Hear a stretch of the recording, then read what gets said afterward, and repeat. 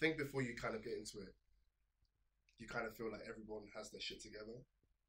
Um, that's not the case. My name is Aji Ayorinde. Um, sometimes known as Ajibala Josiah. My brand is MIA London. I met this tailor whilst I was in South Africa.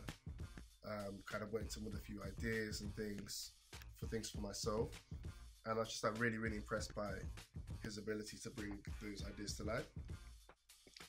That then was extrapolated into kind of like a first collection, I guess, which I brought back to the UK. And then from there, it's just been a constant process of like, you know, iteration, changing things along the way, learning more and more things. And like I was saying to you, you know, before, like I'm only now at the point where like I feel completely confident calling myself a designer. I feel like it's a constant process, like you're always learning. And you don't want to be too quick to claim any particular title because with that title, there's like responsibility and expectation. So now I feel like I've kind of like done enough work, put in the hours to enough of an extent that I can call myself a designer, even though I'm still learning. The way that I define MIA is like probably like on the premium side, a blend of like luxury minimalism. Like even the stuff that we do that's more uh, there's more going on with. There's still that element of like minimalism. That attention to detail is something that we we really really take ourselves seriously on.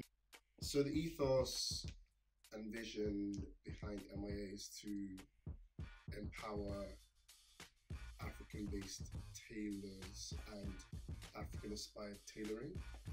So we do that through collaborations with uh, designers who are based on the continent who brand themselves as tailors.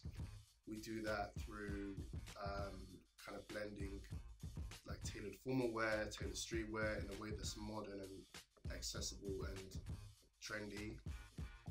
And yeah, I guess like we want to get to the point at which we can really help to put African fashion on the map. So MIA officially stands for Made in Africa, but the reason why we chose the name is because there's so many other meanings and uses to the word or to the phrase or acronym MIA.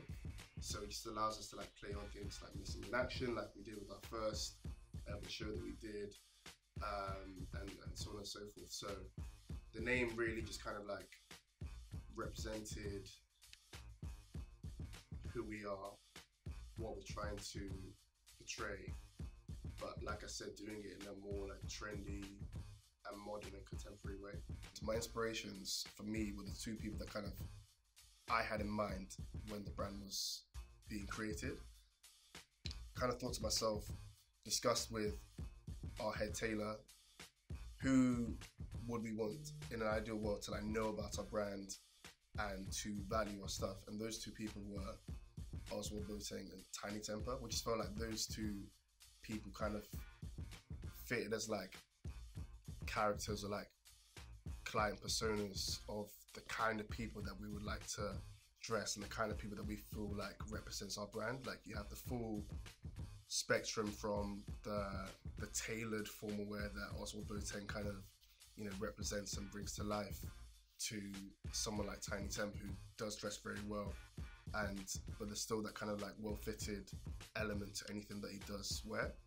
So they were the two people that kind of I had in mind when the brand was being created and fortunately enough like I've had the opportunity to have conversations with both of these people. I never went to design school and I wouldn't go as far as saying it's necessary, but what I would say is that it is necessary to upskill yourself in other ways, whether it's through like practical experience.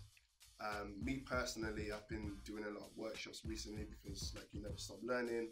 Because I didn't have that like design school experience, there are a few gaps in kind of like my knowledge and in my skill set, which I've been like working on. So I guess like going to design school may give you that kind of um, overarching understanding of things, but it can't replace the practical experience that you learn. So it just depends on what kind of route or path works for you. Um, for some people, just being more hands on from the get go, and then going back to like filling the gaps and then upskilling themselves in that way, that works as has been doing for me. But then for other people, kind of being guided along the way is the better way to go about things. Think before you kind of get into it, you kind of feel like everyone has their shit together. Um, that's not the case. Like even the most like professional people, you'll see that they're kind of making things up as they kind of go along, and that in itself does kind of provide some sort of comfort in the sense that it kind of humanizes people. It kind of makes things like more achievable to you. And me, yeah, it was kind of like motivation, just seeing people like right before going on TV. Um, they they're like, oh, like this, they, they're just stressing out a bit, like trying to like get things together, gather piece of information together, and I think that's kind of like the an ability that a lot of people in these spaces have. Like when it comes to the time to perform, they they step up and they perform. I think the hardest part of what I do is, I guess, the things that you don't know how to do before you do them, or not knowing who necessarily to go to before you do it. So it may be a case of okay, you have this great idea, you want to bring it to life, and you want to get X person involved to bring it to life, but you don't have a direct contact with that person. It's that's the hardest thing. I think like having to like sometimes be realistic about ideas and I guess like having sometimes to kill ideas because it's not possible or practical in, in reality. That's probably the hardest thing. And I feel like it's a case of like you learn as you go along, you build your network as you go along, you upskill as you go along, and you get to a point where most things that you want to create conceptually, like you, you can do, or you know how to go about doing it. Through that, that's where like you have real like power. It's that knowledge and that network. You can't substitute the hard work. Like, and don't don't run before you can walk. Like, we've had to kind of like be out there and then at times pull ourselves back to like allow other elements to catch up, if that makes sense. And what that can potentially do is to like hold momentum. What you really want in an ideal world is when you go out to the world, like you're completely ready. And from there, things can just build and build and build. So, yeah, just kind of like do the groundwork up front, I'd say, as much of it as you can. So, getting our next collection out by September by Five Infinite um, and doing it through our Spoken Fashion Week show. Um, yeah, that's next, and then just kind of seeing like more, just us like expressing our creativity more and more again. That's what it's saying. Doing like through like new concepts, new ways of designing, like new methods that we're learning